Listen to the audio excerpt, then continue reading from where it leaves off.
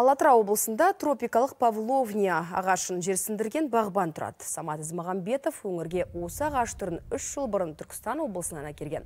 Бүгінде аумағы 5 гектар алқапта бұл өңірге таңсық айрықша көшетпен бірге егілген жеміс ағаштарда өсіп тұр. Павловния Шығыс Азияның тропиктік аймағында кездеседі. Қазақстанның тек оңтүстік өңірлерінде өседі. Жалпы Индер ауданында бағбандар қатары көбейіп келеді. Алты шаруашылық 18 гектар алқапқа алма, алмұрт, шие, өрік секілді жеміс ағаштарын егіп өнім алған. павлония дейтін ағашы бірінші жылы отырғаннан кейін өскеннен кейін оны кесіп тастайсың содан кейін келесі жылы уже кетеді. Ол материал. Алюминиевый сияқты дейді гибкий майысқақ жеңіл өзі. Сосын үш төрт жылдан кейін гүлдейді. Сосын оттегі жақсы береді. Кәсібім жүріп кетсе енді алуға болады үкіметтен. Бірақ енді оны кішкене өзімді көрсетуім керек қой әлі. Әлі нете алмай жатырмын. Жайлап жайлап бастап